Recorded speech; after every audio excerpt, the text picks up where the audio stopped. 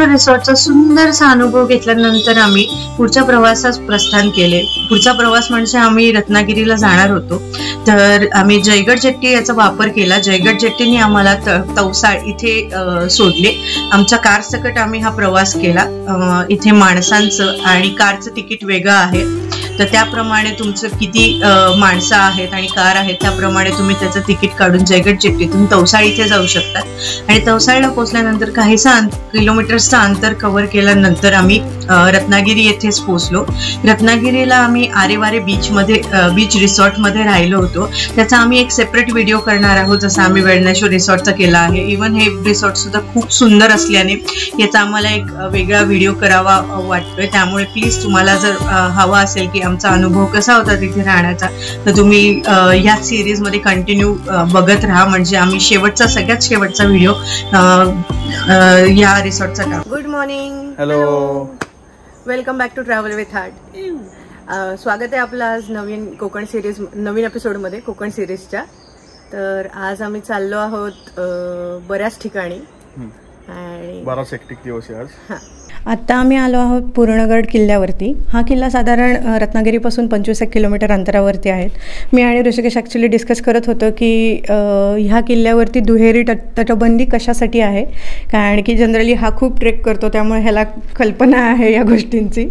त्यामुळे मी त्याला विचारत होते की हे कशासाठी केलं आहे ह्याला ह्या किल्ल्याला म्हणजे जनरली किल्ल्यांना दुहेरी तटबंदी अशासाठी करतात की ते एक संरक्षणाचा अजून एक लेअर ॲड होतो त्याच्यात.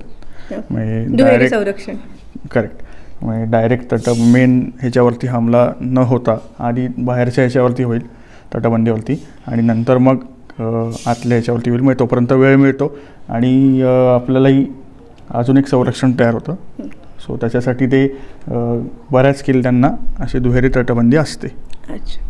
आणि तसंच इथे आता तू बघशील आपण बघतोय. तर इथे काही पुरातन वास्तूंचे अवशेष आहेत. ठीक आहे. तर तिथे बहुतेक तिथून आधी कारभार हँडल करत असतील. तर त्याचे आता ऑब्व्हियसली चारशे वर्षानंतर अवशेषच राहणार. तर तिथे दिसत आहेत त्याच्यावरून असं वाटतं की इथे काहीतरी रेलचेल असेल.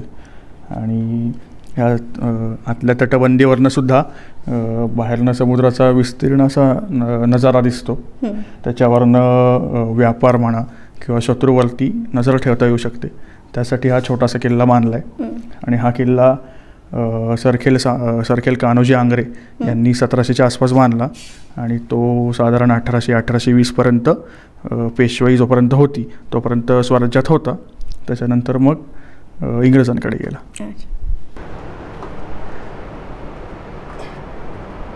सावकाश. छान दिसते ना?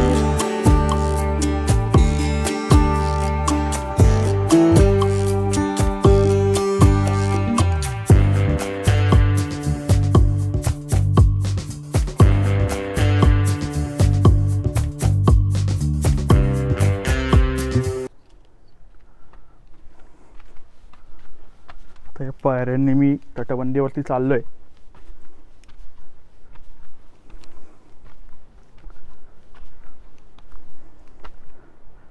हे बघा हा एक बुरुज मेन लक्ष ठेवण्यासाठी केलेला. आणि इकडनं या तुम्ही याच्यातनं बघितलं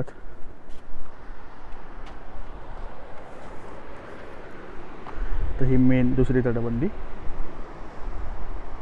आणि हा असा विस्तीर्ण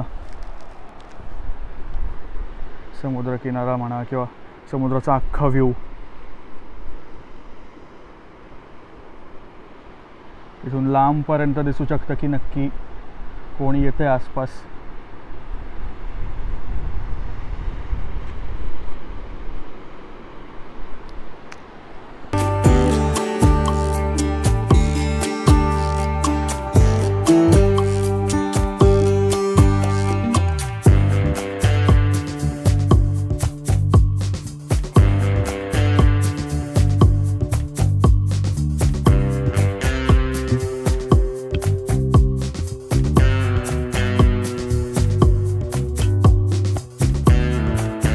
किल्ला पाहिल्यानंतर आम्ही पुढच्या ठिकाणास प्रस्थान केले. पुढचं ठिकाण आमचं होतं कनकादित्य मंदिर. तिथे मंदिरामध्ये एक का पुजारी बसले होते आणि आम्ही त्यांना ते मंदिराची मंदिराचा इतिहास विचारताच त्यांनी आम्हाला सांगितले की बाराशे त्र्याण्णवमध्ये अल्लाउद्दीन खिलजी सौराष्ट्रावर चाल करून येणार होता. याची माहिती ऑलरेडी पुजाऱ्यांना आगाऊ बातमी लागली होती आणि त्या त्यामुळे त्यांनी तिथे बारा सूर्याच्या मूर्त्या होत्या ज्या बारा महिन्याचं प्रतीक होतं. त्यांनी त्या मूर्त्या एका व्यापाऱ्याला दिल्या आणि त्याला सांगितलं की ह्या सध्याला तू आत्ता तुझ्या बरोबर घेऊन जा आणि जसं इथले वातावरण निवडेल तसं त्या मूर्त्या परत घेऊन ये. ते त्या त्यांनी त्या मूर्त्या सगळ्या गलबतावरती ठेवल्या आणि ते गलबत केळशी गावाच्या समुद्र किनाऱ्यापाशी आले असताच अडकले. आणि पुढे जायला व्यापाराने व्यापाऱ्याने खूप सारे प्रयत्न कर केले पण जहाज काही शेवटपर्यंत पुढे जायना त्याच्या मनात आलं की कदाचित ही देवाचीच इच्छा असेल की इथे राहावं आणि त्यांनी एक मूर्ती समुद्र किनाऱ्यावरील गुहेत आणून ठेवली. आणि जशी मूर्ती ठेवतात त्याचं जहाज मार्गस्थ झाले. त्याच क्षणी केळशी गावात एक कनका कनकाबाई नावाची एक गृह गृहिणी राहत होती. आणि तिच्या स्वप्नात त्याच वेळी सूर्य सूर्यमूर्ती आली आणि ती एक सूर्य उपासक पण होती. भगवान सूर्यनारायणाने कनकेला म्हणाले की तू माझ्या तू मला येथून घेऊन जा आणि तुझ्या गावामध्ये माझं मंदिर बांध आणि त्याची स्थापना कर. कनिकाबाईने ही सगळी हकीकत ग्रामस्थांना सांगितली आणि ग्रामस्थांच्या मदतीने तिने सूर्यमूर्ती गावात आणली आणि स्थापन केली. त्या कनकाबाईमुळे ह्या सगळा हे सगळे मंदिर घडून आले. म्हणून या याला कनकेचा आदित्य म्हणून कनकादित्य असे मंदिर नाव पडले.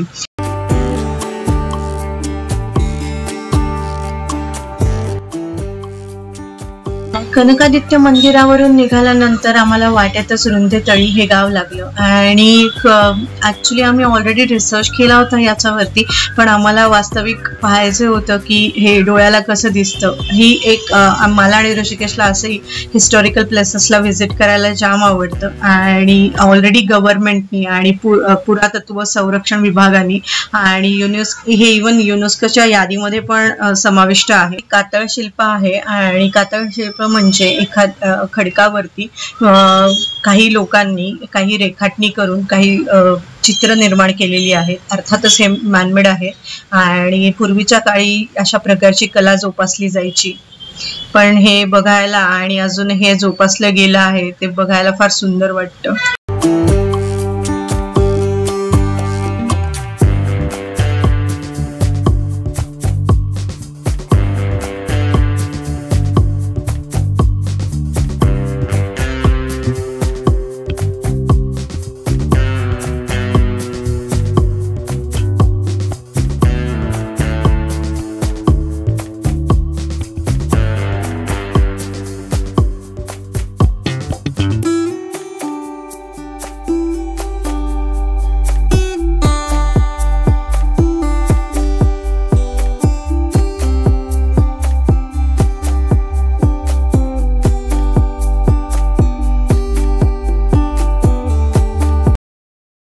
रुंधेवरून निघून आम्ही सनसेट पाहण्यासाठी देवघळी बीच वरती आलो आलो आहे आणि ऍक्च्युली आम्ही इथे बरंच काही रेकॉर्ड केलं होतं तुम्हाला सांगण्यासाठी. पण अनफॉर्च्युनेटली माईक च्या काही डिफेक्टमुळे रेकॉर्ड होऊ शकलं नाही. तर ऋषिकेश इथे तुम्हाला तेच सांगत होता की देवघळी हा बीच जिथे आम्ही आधीच्या रेफरन्समध्ये तुम्हाला सांगितलं की आम्ही कनकादित्य मंदिराला गेलो होतो. आणि तिथे गुहेत सूर्याची मूर्ती ठेवली आहे ठेवली होती. पूर्वीच्या काळी. तर हा हीच ती गुहा आहे जी देवघडी बीच वरती आहे आणि इथेच एखादी कनकादित्य मूर्ती सापडली होती. आणि त्या गुहेस आणि किनाऱ्यास देवघळी बीच असे म्हणतात. येथून समुद्राचं अत्यंत मनमोहक दृश्य दिसते. आणि जर तुम्हाला सनसेट एन्जॉय करायचा असेल तर एक्स्ट्रीम बेस्ट व्ह्यू आहे. आणि इवन समुद्र किनारा सुद्धा अप्रतिम आहे. म्हणजे शब्दात वर्णनच करू शकत नाही. इतका सुंदर हे आहे. आणि खाली ऍक्च्युली जायचं असेल तर गव्हर्नमेंटनी अशी एक पायवाट चिरेबंदीनी पायवाट बांधली आहे. थोडंसं रिस्की आहे जायला पण जा- जर तुम्ही हे मिस केलं तर म्हणजे माझं तरी रत्नागिरीमधलं पूर्ण ठिकाणांपैकी हे सगळ्यात बेस्ट ठिकाण आहे. तिथे एक ऍक्च्युली सन सनसेट आणि सेल्फी पॉईंट पण केले केला आहे. आणि तिकडनं पायवाट खाली जाऊन तुम्हाला समुद्र किनारा पण दिसतो. आणि इथे काहीशी दुकानं सुद्धा आहेत की जिथे तुम्हाला सटर फटर काही खायला मिळत असेल तर ऊन खूप जास्त असल्याने आम्ही इथे लिंबू सरबत प्यायलं होतं आणि ते ते पण चांगलं होतं Our to the city streets. We began to feel the fire. We rise like as the chemicals they take us higher. The night's young. आमचे व्हिडिओ जर का तुम्हाला आवडत असतील तर please like share and subscribe to our channel आणि आम्हाला comment सेक्शनमध्ये सांगा की कसे वाटतात व्हिडिओ आणि तुम्हाला नोटिफिकेशन नवीन व्हिडिओचं येण्यासाठी बेल आयकॉन दाबा असाच व्हिडिओ बघत राहू